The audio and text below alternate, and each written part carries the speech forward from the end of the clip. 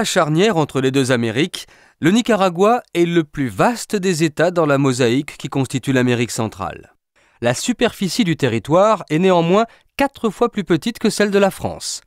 L'océan Pacifique et l'Atlantique, avec la mer des Caraïbes, bordent des plaines côtières plus ou moins larges. L'ossature du pays repose en partie sur différentes chaînes de moyennes montagnes où pointent une quarantaine de volcans. Six d'entre eux ont été en activité au cours des 100 dernières années. Beaucoup de paysages nicaraguayens témoignent des manifestations géologiques qui ne cessent de remuer l'Amérique centrale depuis sa formation. Les sols enrichis par les matières volcaniques alternent avec les zones quasi désertiques. Et la forêt tropicale offre un abri providentiel à une faune très diversifiée.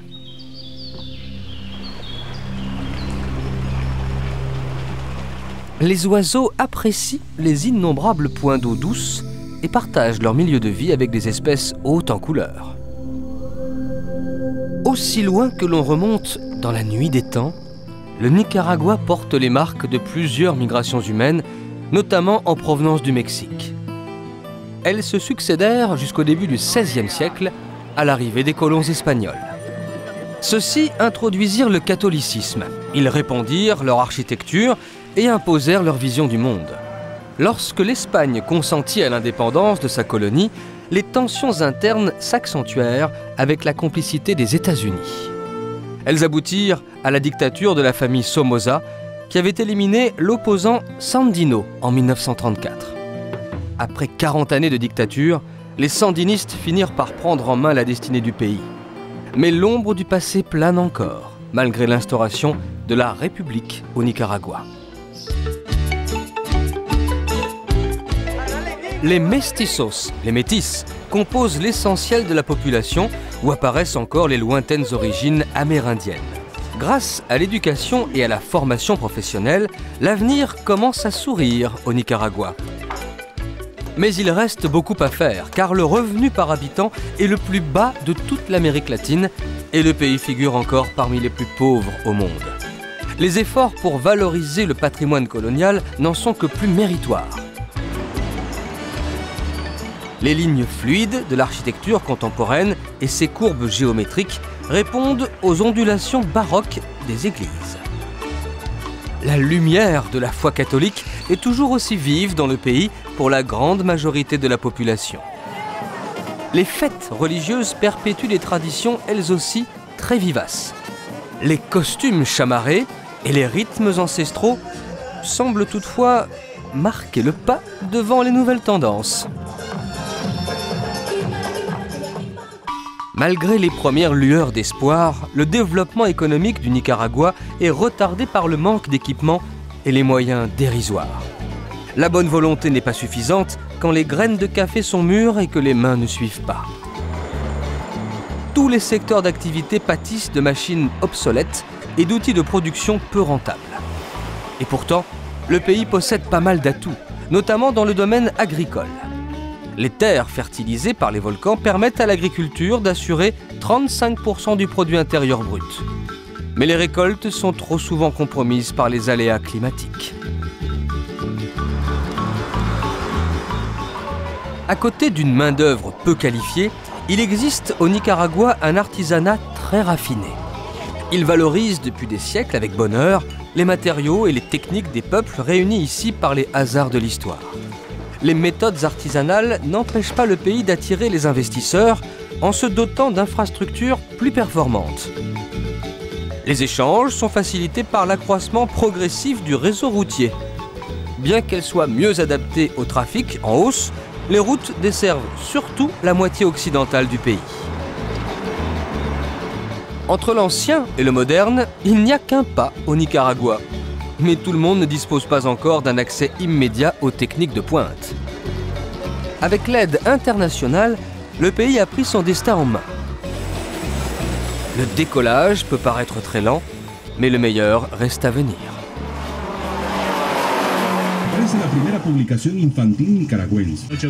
Au bord du lac de Managua, la capitale est établie sur une zone volcanique, comme en atteste le cratère rempli d'eau de la Laguna de Tizcapa. La ville envahie par la verdure manque de repères visuels, à part les ronds-points, les rotondas. Santo Domingo étend ses bras protecteurs sur une ville qui se développe rapidement. La cité regroupe en effet le quart de la population nationale.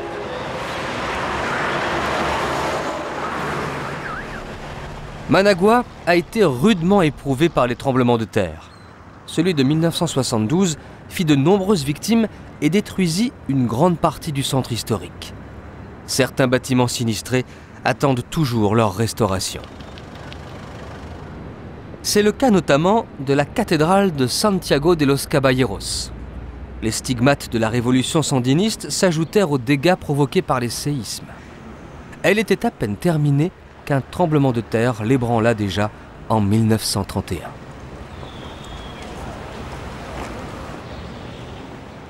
Proche de la vieille cathédrale, le palais présidentiel arbore le triangle emblématique, symbole d'équilibre et d'égalité. Au Palacio Nacional, Somoza réunissait ses ministres à l'étage. En août 1978, les révolutionnaires firent irruption dans le bâtiment déguisé en gardes nationaux. Ils prirent de nombreux otages et en deux jours, les soldats sandinistes obtinrent satisfaction dans leurs revendications. C'était la victoire décisive d'une révolution inspirée par Augusto César Sandino, assassiné 44 ans plus tôt. Il faudra attendre un an de plus pour assister au départ définitif de Somoza en 1979.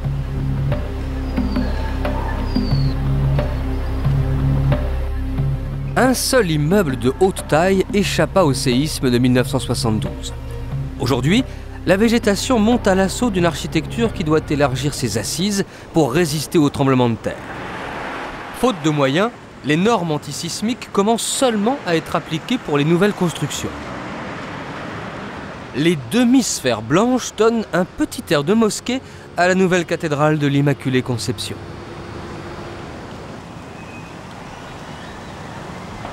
Pour une population dont la moitié n'a pas 16 ans, la vie se résume souvent à la recherche des moyens élémentaires de subsistance. Comme le chômage touche le quart de la population en âge de travailler, beaucoup de Nicaraguayens doivent se contenter d'emplois précaires ou occasionnels.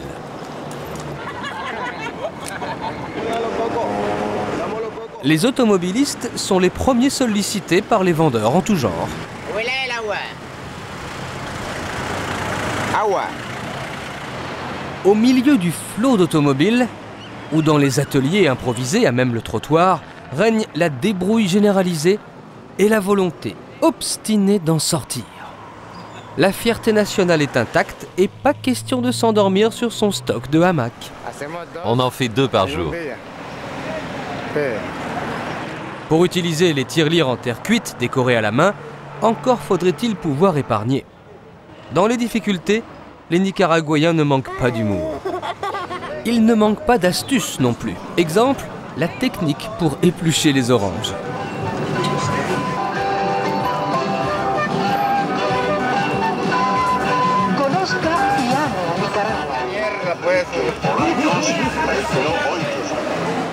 Les produits alimentaires ouvrent l'appétit sur les étals du marché central malgré la chaleur. Pour être sûr de la fraîcheur des produits, le mieux c'est de les acheter vivants. Et pour l'iguane, pas question de s'échapper. C'est bien ce qui l'inquiète, car il sait qu'il ne va pas tarder à passer à la casserole.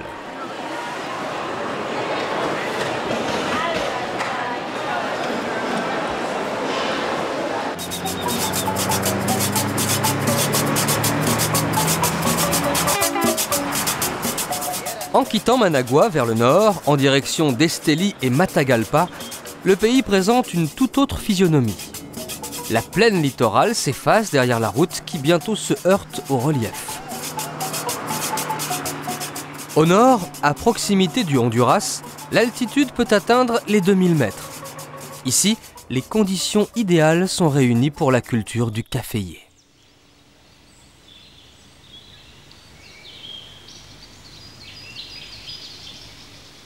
Une allée de palmiers royaux mène à la Cumplida, une exploitation dirigée par un ingénieur agronome français, Clément Ponson. Lorsqu'il acquit le domaine, une des priorités de l'agronome fut un important travail de reforestation. Pour entretenir les sous-bois, il fit notamment appel à la collaboration de moutons, une main-d'œuvre gratuite qui de plus fertilise le sol. À l'origine, la Cumplida était vouée à la seule production du café. Mais d'autres espèces furent rapidement introduites par le nouvel exploitant pour diversifier les récoltes et fournir au personnel une partie de son alimentation. Son expérience permet à l'ingénieur de tester l'implantation de nouveaux végétaux. C'est un colorant naturel utilisé aussi bien dans l'alimentation maintenant de plus en plus comme substitut de colorant artificiel. Un tel fruit, originaire de Madagascar, ouvre d'intéressantes perspectives. La forêt primaire occupe à l'état naturel une partie de la propriété. Elle comporte de nombreuses espèces, parfois peu connues, qui peuvent enrichir le patrimoine de la plantation. À l'abri de toiles qui les protègent des ardeurs du soleil, les fougères sont un autre exemple de diversification pour l'entreprise. Cette plante fournit aussi du travail quand le café a été récolté. La fougère est une plante de sous-bois. Elle apprécie l'ombre et l'humidité. Pour l'élégance de son feuillage toujours vert, la fougère est exportée en Europe et en Asie. Les fleuristes l'utilisent comme support de leurs bouquets ou de leur création florale. Le goût et le parfum du café dépendent de l'espèce, mais aussi de l'altitude à laquelle il est cultivé. Le café du Nicaragua est très apprécié sur le marché européen pour euh, son taux d'acidité. C'est un café acide dû à l'altitude pour celui qui est planté au-dessus de 1000 mètres. Le son de la conque ponctue le travail de la cueillette. Le caféier est un arbuste de taille moyenne dont les graines sont faciles d'accès. Il faut qu'elles soient bien mûres pour obtenir un produit de qualité. La récolte est rapide et les meilleurs ouvriers sont très motivés. Le café nous fait vivre, on lui doit tout. La rémunération du personnel est calculée au poids des fruits récoltés. La cueillette mobilise tout le monde. C'est une activité économique majeure car le café assure à lui seul 30% des exportations nationales. Une ressource qui se doit d'être protégée.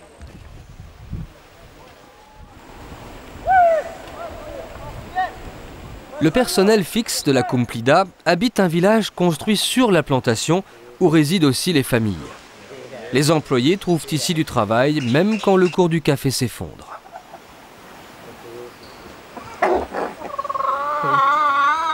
Les générations cohabitent. Les enfants ont ici leur école. Et une cantine permet la préparation des repas collectifs. Dans le four cuisent les pains qui donneront des forces aux travailleurs.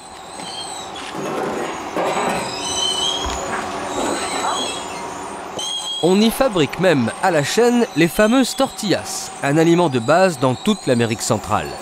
La tortilla est faite d'une pâte fine, garnie de viande, de légumes ou de fromage. Elle est préparée avec de la farine de maïs. Le rythme de vie à la plantation est calme et paisible, surtout en fin de récolte, lorsque le café a été emporté vers la coopérative où il sèche à l'air libre. Les grains seront triés et mis en sac pour être transporté. Vers l'ouest, à une altitude inférieure, les surfaces planes conviennent à la culture du tabac, car les eaux de ruissellement n'emportent pas les semis. Le tabac appartient à la famille des tomates et des pommes de terre. Il prospère en Amérique centrale, la terre natale de l'espèce. Quand les feuilles sèchent, la chlorophylle subit une transformation chimique et le vert tourne au brun. Les plus belles feuilles viennent du milieu de la plante. Elles sont mises de côté pour servir de cape, l'ultime enveloppe du cigare.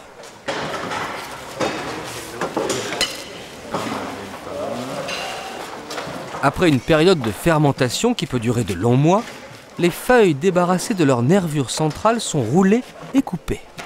Elles prennent la forme du cigare grâce au moule en bois. La précision des gestes la sélection des feuilles et le calibrage des pièces assurent le goût du cigare, mais aussi la combustion qu'il ne faut ni trop lente ni trop rapide. Mario Pérez dirige une manufacture. C'est un des principaux produits d'exportation du Nicaragua. À l'heure actuelle, ici on produit environ 2 millions de cigares par an. Ces cigares sont exportés dans 15 pays dans le monde. Avant de livrer le produit au consommateur, il faut le tester.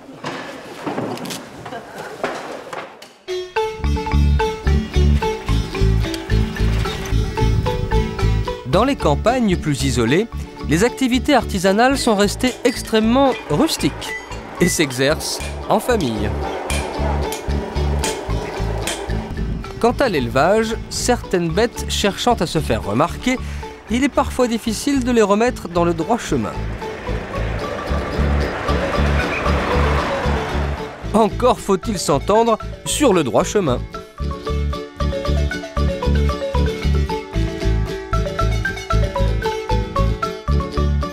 L'opossum a beau être le seul marsupial du continent américain, le chemin lui réserve quelquefois de mauvaises surprises. Certains animaux pourtant peuvent être traités avec bien plus d'attention. Le coq de combat, le roi de la basse-cour, fait l'objet de l'admiration de tous. Avant toute chose, le coq est pesé pour mettre en compétition des volatiles de force comparable. Ici, on ne plaisante pas à ce jeu-là. Chaque propriétaire aligne une impressionnante collection d'ergots en acier.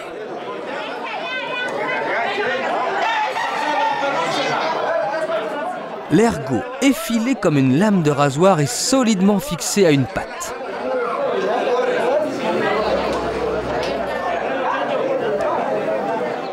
On excite les combattants Et c'est parti Les combats de coqs sont autorisés au Nicaragua. Ils se déroulent le dimanche, un peu partout dans le pays, et spécialement lors des fêtes patronales.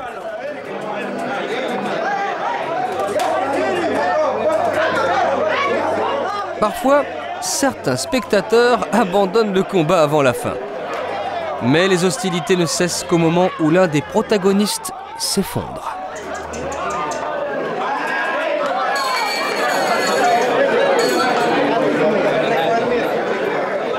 Il reste à penser les plaies et à régler les comptes. C'est moi le gagnant. Et l'avenir des combats de coq semble bien assuré.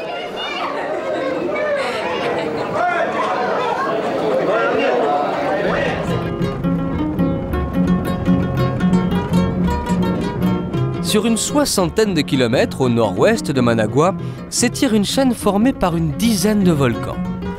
Les terres fertiles bordent de chaque côté la cordillère de Los Maribios.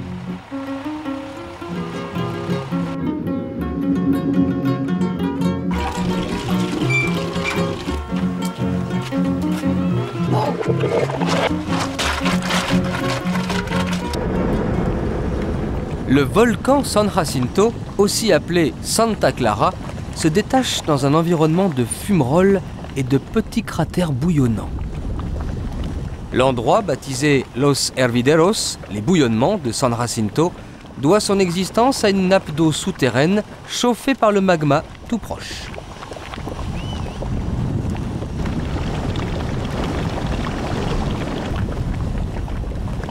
L'eau chaude émerge en amenant des gaz sulfureux à la surface.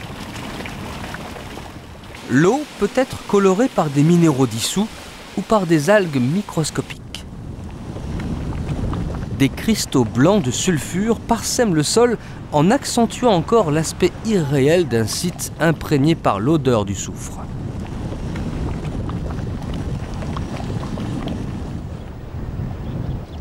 À quelques kilomètres, le Cerro Negro se laisse facilement approcher.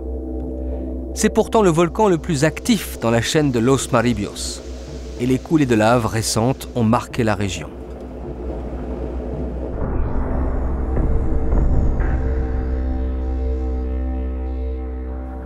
sur la face nord, la végétation a pris pied. Ainsi, la couleur verte contraste violemment avec les blocs de lave encore bruts, où la vie réussit à s'immiscer. Le Cerro Negro débute à peine dans l'existence, car il a vu le jour au milieu du 19e siècle.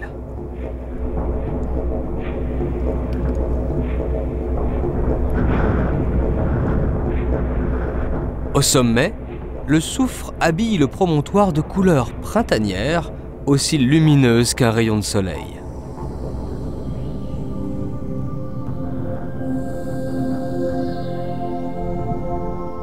Petit à petit, la lave se décompose sous l'effet de l'érosion. Elle se désagrège pour former des grains de plus en plus fins. Puis, elle dévale la pente en annexant les terres et en les fertilisant. Un spectacle grandiose qui donne des ailes.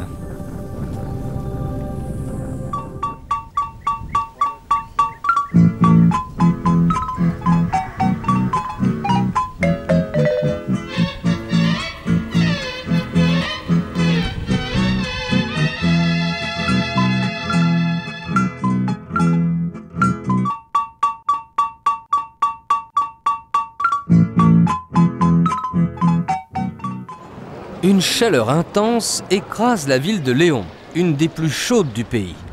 Une ville fière de son passé historique.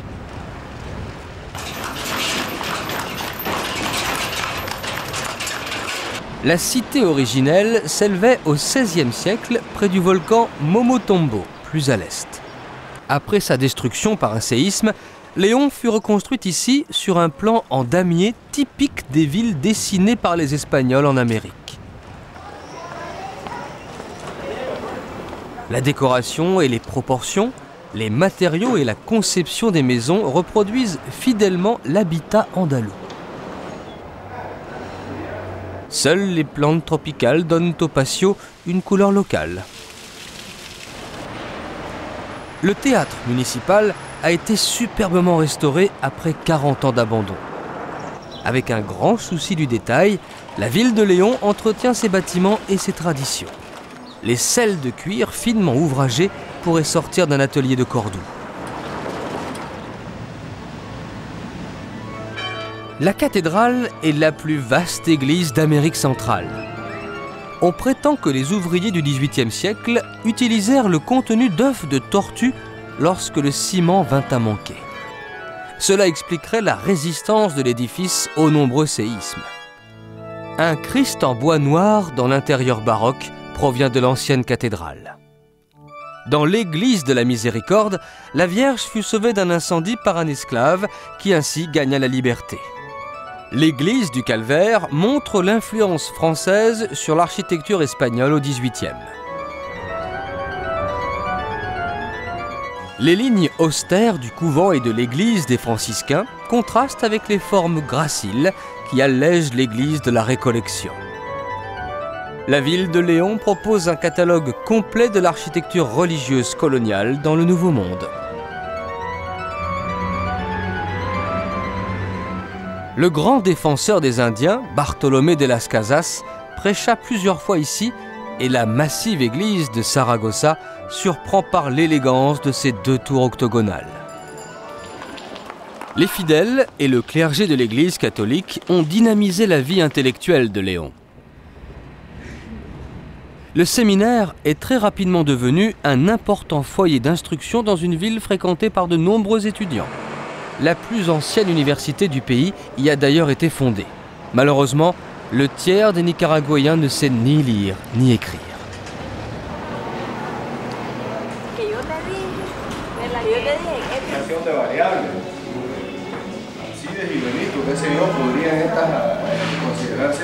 Comme partout, les étudiants sont très impliqués dans la vie politique. Les peintures murales en racontent les grands épisodes. À la fin des années 1970, quand les sandinistes ont pris le pouvoir, les fresques ont fleuri sur les murs pour dénoncer la mainmise des États-Unis et ridiculiser ses dirigeants.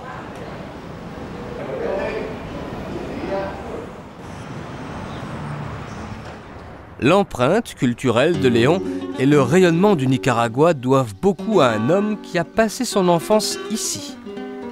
Il fut poète, journaliste, diplomate et ses souvenirs sont rassemblés dans un musée. Ruben Dario, décédé en 1916.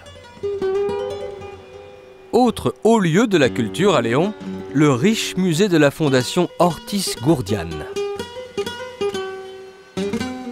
Le musée comporte une collection d'œuvres européennes, parmi celles-ci différents tableaux du génie catalan, Picasso. Plusieurs artistes nicaraguayens sont également représentés, comme Armando Morales. Ces nuances d'encre se délavent dans le crépuscule de Léon.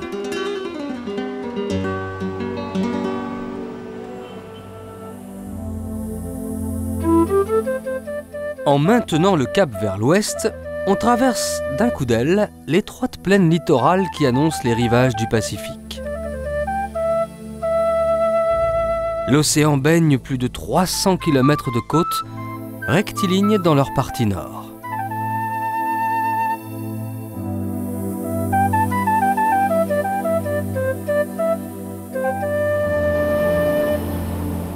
Les pélicans dessinent des courbes dans le ciel, au large de petits villages comme Las Penitas et Poneloya. Le rez-de-chaussée des maisons sert d'entrepôt et seul le premier étage est habité, à l'écart de la mer. Ici, les ressources de base proviennent traditionnellement de la mer, même si certains pêcheurs essayent de passer inaperçus. Et même si les influences de cultures extérieures sont bien visibles.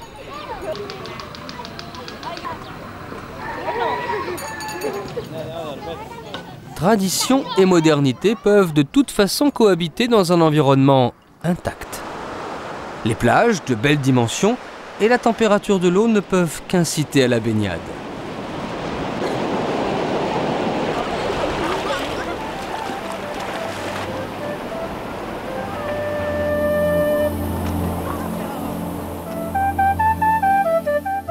Plus au sud, comme à Montélimar, des projets d'infrastructures hôtelières montrent la voie du développement. Un atout majeur, la beauté naturelle de la côte. L'océan incurve joliment le rivage à San Juan del Sur.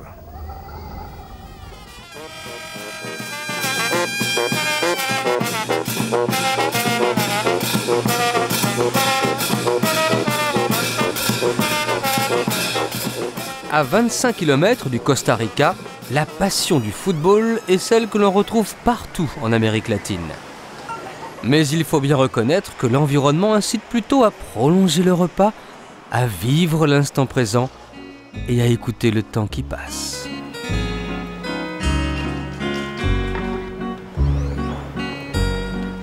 Ici, la côte pacifique dessine une multitude de courbes harmonieuses des criques hospitalières déroulent leurs plages où l'océan perd toute vigueur. D'évidence, la solitude y trouvera longtemps encore sa plénitude.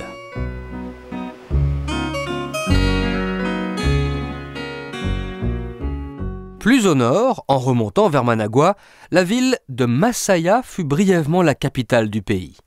Comme Managua, la cité est établie au bord d'un lac de cratères. En dépit de son plan géométrique classique et des références à la présence hispanique, Masaya est un véritable concentré de la culture nicaraguayenne.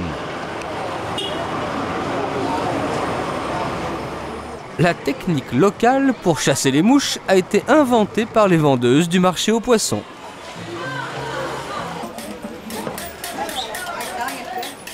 Les poissons sont entaillés pour faciliter la cuisson et présentés en collier.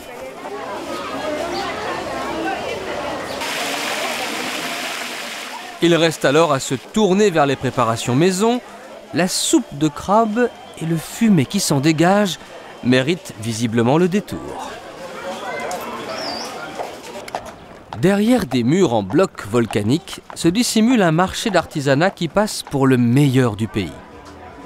La cité que Ruben Dario avait baptisée la ville des fleurs doit sa vocation à une exigence des Espagnols.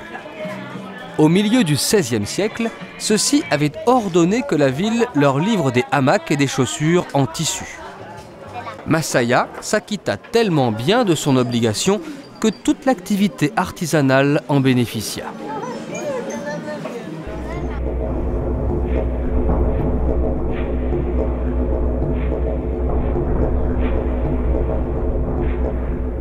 De l'autre côté du lac, les coulées de lave mènent à un volcan qui compte parmi les plus actifs des Amériques.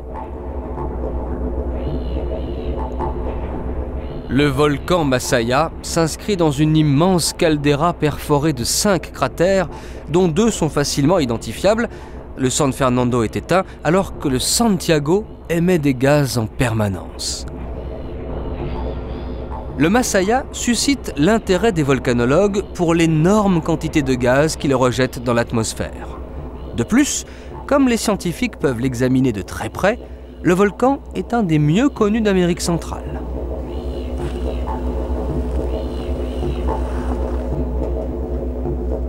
De son côté, le cratère San Fernando fait preuve d'un calme absolu.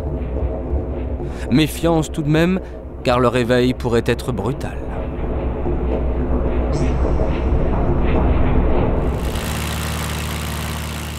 La ville de Diriamba marbre la campagne à 15 km du volcan.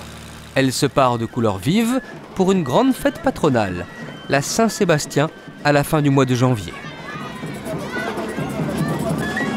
Les cortèges costumés se forment dans les rues. À travers des thèmes remontant parfois au XVIe siècle, il s'agit souvent de tourner en dérision les colonisateurs espagnols. Le nom même de Diriamba vient de Diriangen, un grand chef indien qui s'opposa aux Espagnols. El Toro Huaco, le taureau vide, se retrouve dans toutes les fêtes patronales. Un autre moyen de s'exprimer, une très ancienne représentation théâtrale appelée El Huehuense. Lazaro Romero est l'un des organisateurs. Le Huehuense est une pièce de théâtre dansée. Elle est née au XVe siècle en réaction contre la couronne espagnole. C'est une satire menée par le Huehue, qui veut dire le vieux moqueur. On la joue ici depuis environ 500 ans.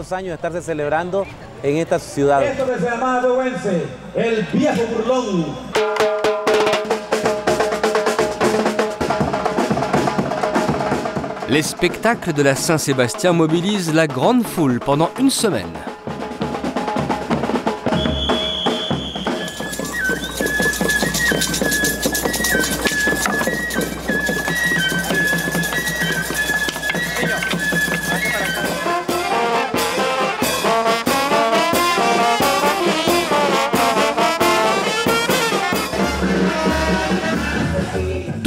Composantes de la société trouvent un écho dans les festivités. Les sensibilités rurales sont rythmées depuis des siècles par les saisons et les travaux des champs. Elles enchaînent sans transition avec les vêtements et les références des milieux urbains. L'identité nationale est multiple, elle se démultiplie encore à l'occasion de la fête.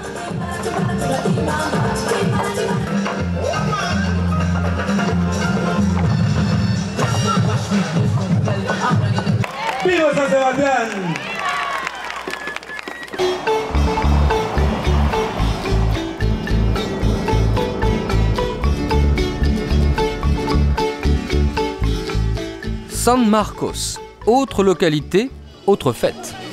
Les montados, les cowboys locaux, ont sorti leurs éperons du dimanche et ont laissé leurs troupeaux derrière eux, dans les pâturages. Les tenues d'apparat et l'afflux des arrivants annoncent de grandes festivités qui culmineront le 24 avril.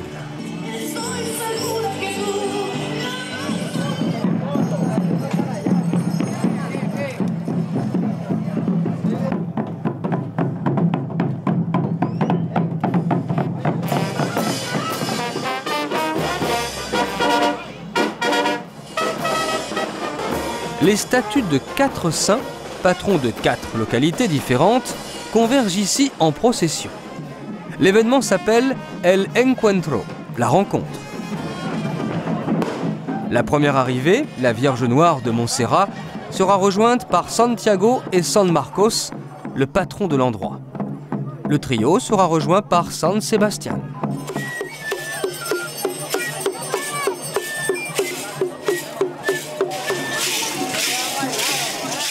La manifestation est l'expression d'une foi profonde, mais elle donne lieu aussi à des réjouissances populaires qui s'étalent sur plusieurs jours.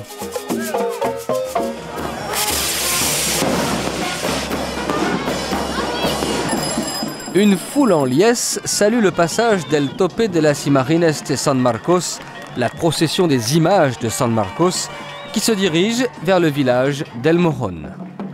C'est à l'église d'El Morón que se termine la procession.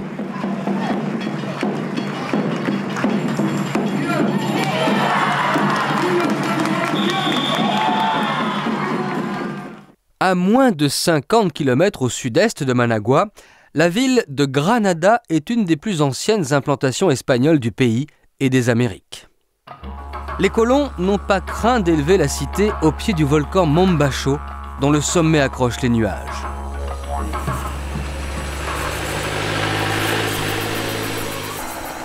Parfaitement accessible au public, la réserve naturelle du volcan Mombacho a été créée au milieu d'une épaisse forêt humide. Ce type de forêt est très rare sur les basses terres qui bordent le Pacifique.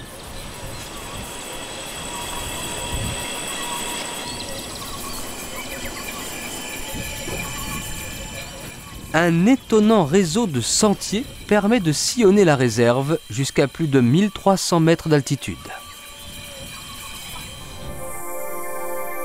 Granada bénéficie d'une situation privilégiée au bord du lac Nicaragua.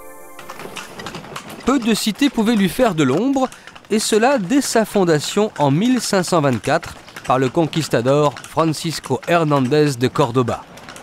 Il a donné son nom à la monnaie nationale. La ville reçut un plan géométrique identique à celui de Léon, fondé la même année. Le patrimoine architectural fait l'objet de la même attention, qu'il s'agisse de simples maisons andalouses ou bien de résidences cossues, baroques ou néoclassiques. Beaucoup d'églises ont été reconstruites, comme la cathédrale, au cours de l'histoire tourmentée de la ville. Aujourd'hui, plus rien ne vient troubler la quiétude des lieux publics où s'affairent cireurs de chaussures et marchands de sorbet. Un peu de glace râpée, une dose de sirop de fruits et le rafraîchissement est prêt.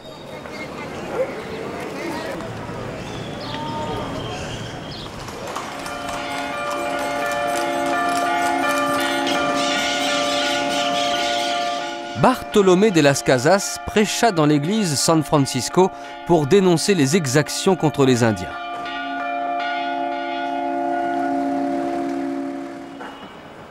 Comme son appel restait vain, il prit la plume pour écrire à l'empereur Charles Quint.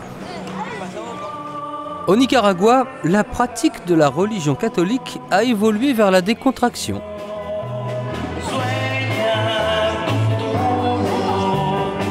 La ferveur des fidèles n'en est pas du tout affectée et cela a permis de rajeunir l'assistance.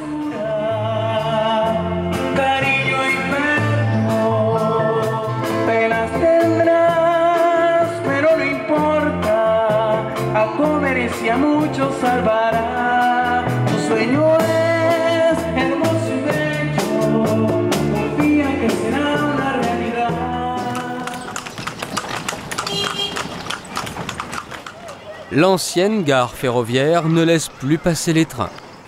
Restauré, le bâtiment héberge aujourd'hui une école technique. Le supermercado Lacayo donne du marché nicaraguayen un aperçu complet, à la fois visuel et sonore. Entre les préparations semi-liquides et celles comme le tamal, la pâte de maïs que l'on enveloppe dans la feuille de bananier, on peut préférer les produits qui n'ont pas encore subi de transformation. Pour les dollars, il faut s'assurer que le changeur est un homme de confiance. Ici, aucun doute. C'est mon oncle, Abraham Lincoln. Oui, on se ressemble plus sans les lunettes. Les cassez pas, hein Oui, on trouve tout au marché. Mais la cohue est telle parfois qu'on est content de pouvoir ramener tout le monde à la maison.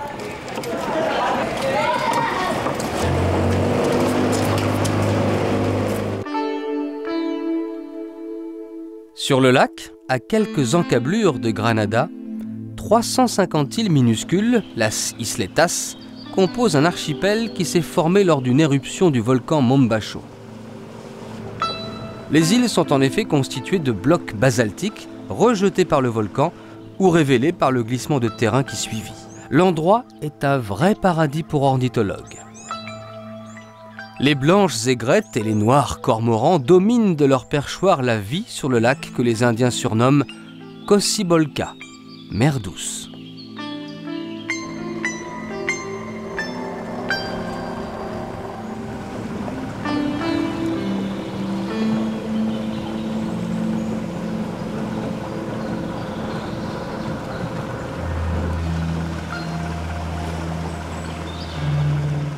Les îles sont pour la plupart des propriétés privées.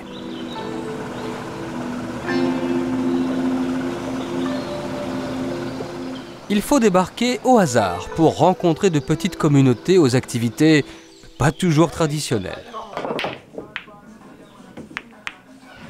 Les blocs de basalte soutiennent les îles qui semblent flotter doucement.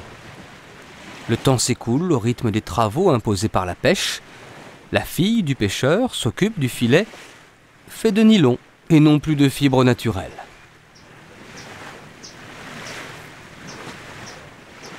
Et Manuel Salvador Diaz répare toujours lui-même son embarcation. La vie sur les îles est rustique, mais plutôt confortable. Seul manque l'électricité. L'île et le lac sont l'univers du pêcheur. On n'est pas venu d'ailleurs, on est né ici.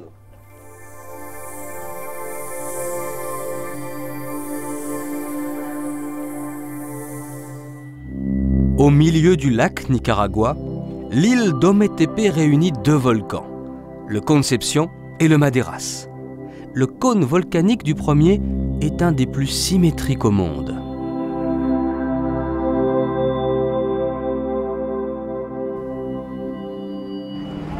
Un service de ferry assure la liaison avec Moyogalpa, le port d'Ometepe. C'est le point de passage obligatoire du ravitaillement. C'est aussi le point de départ du bus, le seul élément insolite dans un environnement bucolique où veille le volcan.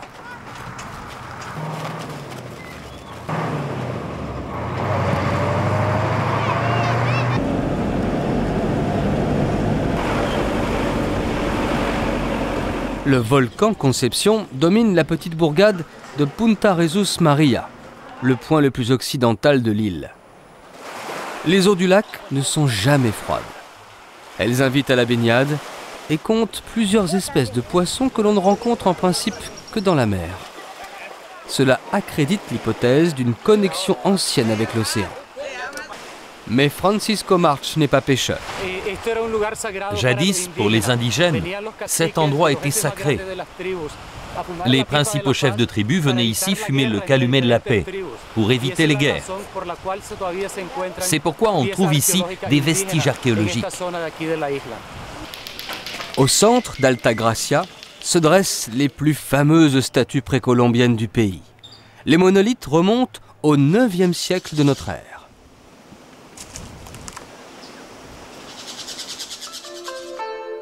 En empruntant un isthme étroit, on atteint le volcan Maderas, où la végétation se répartit par étages. Les cultures et l'élevage montent jusqu'à mi-pente, puis cèdent le terrain à une dense forêt tropicale humide. Un milieu très favorable à la flore et aux fougères arborescentes.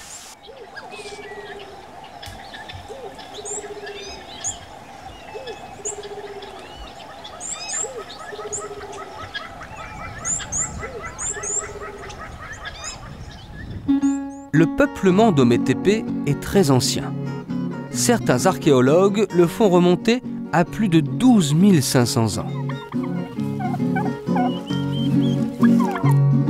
Toutes les composantes ethniques de la population amérindiennes ou métisses, se retrouvent ici. Quant aux instruments de la vie quotidienne, ils n'ont pas évolué depuis longtemps.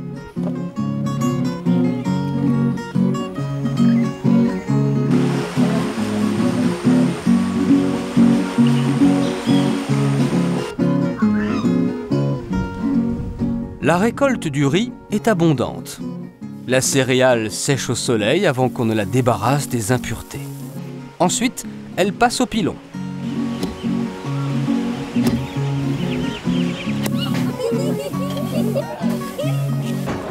Autre ressource locale, la banane. Malgré la concurrence, elle est une des principales exportations agricoles du pays.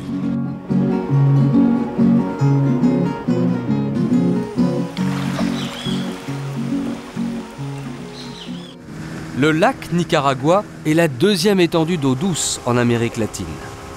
À l'extrême sud, la localité de San Carlos se trouve à 11 heures de bateau de Granada. Elle ouvre sur l'archipel de Solentinam, 36 îles vouées à la pêche et à l'observation des oiseaux.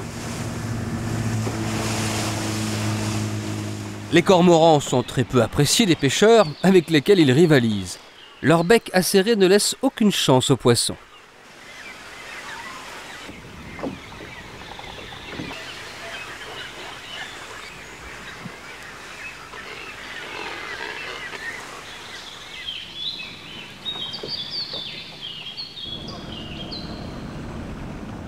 Sur les îles, beaucoup d'artisans ont installé leur atelier. Leur travail est une affaire de famille. On a commencé à faire de l'artisanat par nécessité. C'est un prêtre jésuite, Ernesto Cardinal, arrivé ici en 1966, qui s'est intéressé au développement de la communauté. Certains artisans arrivent à faire travailler toute leur famille. Il y a quelques années, certains ont essayé de peindre sur tissu. C'est comme ça qu'a démarré ce qu'on appelle la peinture primitive. C'est de la peinture à l'huile.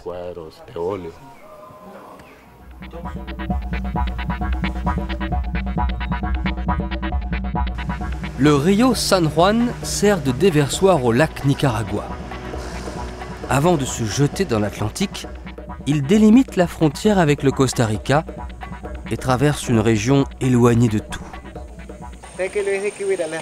Chez les autochtones, la modification des habitudes alimentaires et l'excès de consommation sucrée ont des effets qui plombent certains sourires.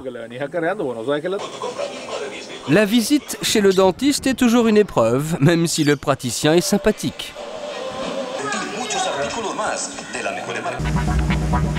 Les Américains avaient envisagé de creuser ici le canal qu'ils réalisèrent finalement au Panama. Heureusement pour la forêt tropicale préservée dans sa diversité. Les minuscules grenouilles aux couleurs vives rivalisent d'énergie avec les fourmis coupeuses de feuilles qui rejoignent leur nid sans remarquer le moins du monde l'iguane basilic, expert dans l'art du camouflage. Comme l'aigrette qui prend peur, le Rio San Juan change soudain de rythme et accélère dans les rapides du diable. Pour contrer les ennemis qui remontaient le fleuve, les Espagnols construisirent à El Castillo la forteresse de l'Immaculée Conception.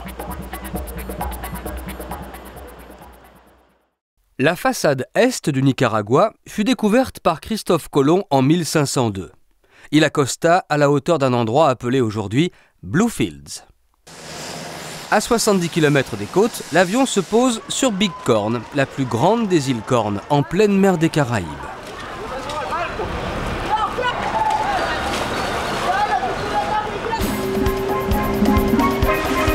La chaloupe rapide est le seul moyen de liaison avec la petite île sœur, Little Corn. Les îles portent le nom de Corn, maïs en français, car jadis elles ravitaillaient Bluefield en maïs.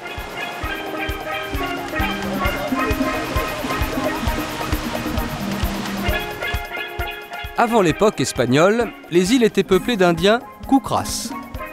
On sait peu de choses à leur sujet, si ce n'est leur tendance à manger de la chair humaine. Le réseau routier de Little Corn est réduit à sa plus simple expression. Pourtant, les communications se mettent en place avec l'arrivée des premiers plongeurs attirés par les beaux fonds coralliens. Le premier caboteur venu entraîne une activité fébrile. Mais une fois le transbordement accompli, l'île retrouve la sérénité. Peu d'îles dans la mer des Caraïbes sont restées aussi authentiques. À la hauteur de ses ambitions, le Nicaragua dispose d'un potentiel considérable. L'histoire a laissé ici des traces profondes.